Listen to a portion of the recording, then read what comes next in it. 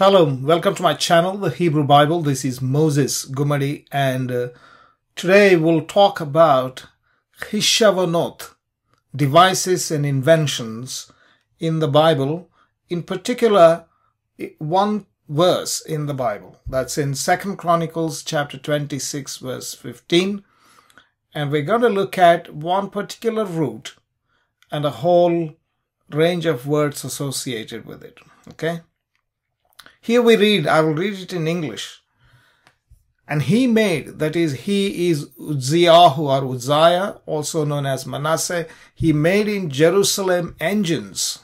It says, the King James Bible says engines, invented by cunning men to be on the towers and upon the bulwarks to shoot arrows and great stones withal, and his name spread abroad. Right, so he made engines. בירושלים, ויעש בירושלים חישבונות, מחשבת חושב. So that's the sentence. חישבונות, מחשבת חושב. Engines invented by cunning men. That's the translation. It's not quite accurate, but we'll, we'll come to that. It's close. It's close. The word engine uh, means generally a steam engine, a diesel engine, etc., a motor or something. Of course, uh, James Watt, uh, Watt, uh, he invented the engine. Uh, but engine generally means any contraption. That's the old meaning when the King James Bible was translated. So any contraption. Okay. So let's look at this root here. Hishavonot has this root het shin bet. Similarly, machshevet, het shin bet. Choshev also is the same root. You can see the root very clearly and the whole sentence. In fact, if you go back, these three words here in this sentence is what we are actually looking at. So, what is this root? Het, shin, bet. Hashav means to think, to count, or to calculate, or to devise. So that's the root from which all these things, all these three words are uh, coming, and uh, they're all related. I mean, why why did he use three different words for the same thing? Let's come to that. Okay, Hishevonot Machshevet Choshev. Let's look at the first word, Hishevonot. Hishevonot means devices or contraptions. For example, an apple cutter is a nice device, little device which uh, you know cuts off the apple into four or six pieces and takes away the core. You know, these are all little inventions we've got in the kitchen, in the house, and pliers, and all those things we have in the modern world. They're all inventions made by clever people. Those are the devices and contraptions. His Hishavonot. Okay, here we have this word occurring elsewhere in the book of Ecclesiastes or Kohelet in 729.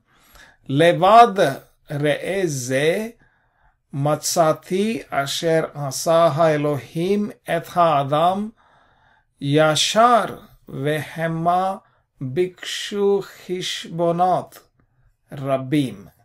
Hishbonot. So hishbonot, slightly different. Hishevonot, this is, okay, because there is a dagesh in the shin and uh, uh, therefore you say hish, slightly you pronounce the shva, Hishevonot, whereas this is Hishev, well, this is also Hishevonot. In fact, I pronounced it Hishbonot, Hishevonot. It's the same thing. And what does it mean? It means inventions. Here, below this, on this only I have found that God has made man upright, Yashar, but they have sought out many inventions. That is, they have figured out many schemes of doing things which are not according to uh, God's uh, will. Let's say that way. So, does it mean all these inventions are evil? Not quite. Hishavonot, it simply means inventions. It could be bad inventions, good inven- inventions. The singular hishavonot is a plural and the singular would be hishavon, hishavon. Okay. It means a device. It could be a physical device with a lot of things that work one because of the other, and therefore, you know, it's like a contraption, or it could be a plan or an invention or a strategy. All of these are hishvon or heshvonot, hishevonot. Okay, let's look at another word very close. If you see this uh, singular word, hishvon, hishavon actually, hishavon because there's a kamatz here. Hishavon, but slightly pointed differently, would be a city uh, called Heshbon. Heshbon. We see in the book of Deuteronomy, Sihon, the king of Heshbon, Velo Ava Sihon Melech Heshbon. So the Sihon, the king of Heshbon, and Og, the king of Bashan, were the big guys who were difficult to fight, but uh, God helped them, the Israelites, to fight, and they killed them, those two kings. And this Heshbon was a big city, very famous city. It was destroyed. But what does Heshbon mean? Heshbon means reasoning or understanding according to Gesenius, uh, the grammarian. Um, and you could actually probably translate it also as like a mechanism or a contraption. Why is this name relevant to this city? Because this city works in a certain way. For example, the city of London, so called, uh, in London itself, there is a square mile, and they call the City of London. Every city functions in a certain way. They'll have a strategy. How do we generate money? How do we bring in people? How do we bring in goods and how do we ship out goods? So there is a strategy, there is a plan for the welfare, not only welfare, but for the prosperity of the city. Uh, and there will be different contraptions in the city, both informational contraptions. London as a city was very famous, uh, still is famous uh, for um, uh, for insurance, different kinds of insurances. They are all informational contraptions, I would say. And uh, of course, uh, cities like Manchester and uh, Glasgow, they used to build ships, which are basically mecha- bigger mechanical or physical contraptions. So this Heshbon as a city actually worked like a contraption, uh, bringing in economic benefit perhaps for the sing, uh, king of uh, Heshbon, Sihon was the king. So, coming back to our phrase, Hishevonot Machshevet Choshev. Engines invented by cunning men. Still, that's the English translation. I'll give you the final translation when we are done with the video. Okay. Next word we're looking at is machshavet, the second one, okay? Because we've already seen hishavonot. Machshavet means what?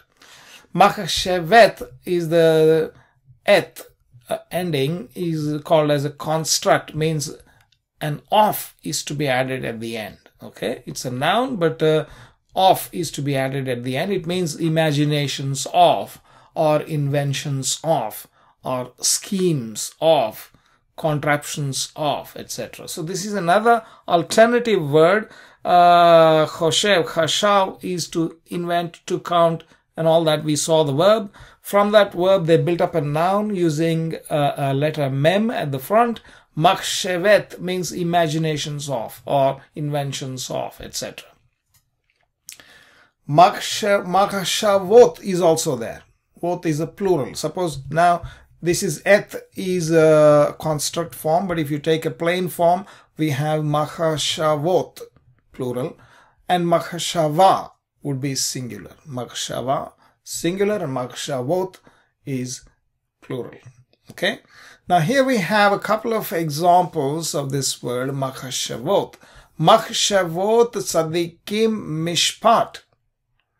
So what is the translation? The thoughts of the righteous are right, or tzaddikim are the righteous, are just, actually, mishpat, or justice, or judge, just. So the thoughts, what thoughts, is not just the thoughts of the mind, and not a, just a thought, not a single thought, but a series of well thought out, well crafted ideas, one following the other in order to achieve an outcome. That's, that's what it is. That's the makshavot, which is a plan or a scheme. A set of thoughts uh, arranged into an idea, an action plan, a strategy, Let us put it that way. The thoughts of the righteous are right, but the counsels of the wicked are deceit. Same word occurs uh, down the line, uh, sorry, in the next, in, in another chapter, in 15, chapter 15, verse 22. Hafer machshavot be'ein sod. Without sod, sod means actually secret. But this secret also refers to the secret council of a king or a ruler, where king uh, secretly counsels, uh, he like takes opinion from a group of people uh, who have trust with the king in the secret. He will sit in his chamber with the secret guys, with with with, with, the, with, the, with the wise guys, and ask them and counter questions and all that stuff. In order to make a decision, he will get their opinions and uh, ask them their their wise counsel, right? So, so that's what we read. Uh, Uvrov Yoatzim. Yoetz is a counselor. Yoetz is a counselor. Yoatzim or counselors are plural. And when the when the multitude of counsel counselors, Uvrov, Rob means Rab means great, or many counselors, there is they are established. That is takum, that is established. So purposes. This is the word machashavot. Machashavot are purposes uh, will be disappointed without a sword, without a secret a counsel, without the advice of the advisors. Okay. So that's so that's just in a positive sense. Still, it's not it's not negative. But down the line, four verses, we read Toavat Adonai Machshavot Ra means wicked inventions. Toavat means uh, abomination. Abomination to the Lord, to Hashem, are the Makshavot Ra, wicked inventions. Wicked schemes, wicked plans, wicked contraptions uh, that are thought out or devised um, or planned or put together are an abomination to Yod He Vav He, to, to Hashem. But the words of the pure are pleasant words. So since he brings the words for Imre Noam, pleasant or sweet words. Um, imre, the word. So you could scheme, you could you could come up with a makshavot or makshava um, with words. That means a set of words, a set of sentences designed to communicate and bring about a change. Uh, well, in the people or in the hearts of the enemy, or you basically sending a message to get an outcome. So that, that could be a makshava, a makshavot. So an, it's an invention, invent, an informational contraption. Hishevonot machshevet choshev. So let's come to the final word choshev. What does it choshev means? It means it's a verb. Eh, choshev is actually a verb here. It's a participle verb, and therefore you add ing ing, right? So counting, calculating, reckoning, etc. That's the meaning of this word Hoshev. So if you look at the occurrences we have here in Leviticus chapter 25, Vaikra, verse 27, Vehishav et shne mimkaru, uh, veheshiv et ha-odef. So he's saying that uh, let, let him count the years, right? So uh, the years that Shne Mimkaru. So count the years. Let him count the years. So Hishav. Hishav is uh, Hishaha. Not like ha as in very harsh ha, which is uh, uh, it's not it's not there in this in, the, in this um, in this sentence, but uh, yeah that's that's why what i do usually is i put this h with a dot underneath rather than kh uh, because it's a bit a softer sound than kh okay so it means count and so why count? Because if you look at the engines they built to cast the stones and big stones against the enemies from the towers and from the bulwarks right? So you have to throw the stones. So at what speed do you have to throw it? At what angle will you throw it? from what height would you throw it? And if depending on these three parameters you would know where it is going to fall and how far is it going to go. Because there is a calculation okay anybody who studies physics uh, in the high school would know this. So there is a calculation for that. Similarly this calculation uh, Hoshev, right? Counting calcula calculation happens it, it, it is relevant in the in the game of chess. For example you make this move and then the op opponent will think of a couple of options or they, they they made the other move and then you have a fork as in oh should i do this or do that if they do this then what oh then this or that may happen or this may happen that may happen this thing branches off and then they calculate uh, to come to a decision which is the best option to go ahead in order to win, which is also a calculation in a chess, uh, in strategy. You also calculate, for example, there's a budget now, so there is a uh, different uh, different buckets of uh, expenses, etc. So you have a strategy of where am I going to put what. Similarly, in businesses, they have a strategy, the strategic planning. Uh, this is all a sort of calculation uh, and scheming and putting together contraptions of information in order to achieve an outcome. And so essentially, whether it is a physical device as they have made, as Manasseh has made, or is it an informational device, whatever it is, it's a, it, it is used in different ways. Hishavonot, Hishavonot Mahashevet Hoshev means contraptions, inventions of calculation or calculating because calculating as in the it, it is a uh, participle so i put it in calculating inventions of calculation. Contraptions or inventions of calculation. Any contraption needs a bit of a thought uh, and accounting like reckoning calculating one step at a time in order to achieve the outcome what uh, the outcome that you would like to have. All right, so that's about it. Thank you very much for watching this video. Please do like and uh, subscribe to my channel. Click the bell icon. Also do comment below and I will see you again with another video as soon as I can. Thank you very much.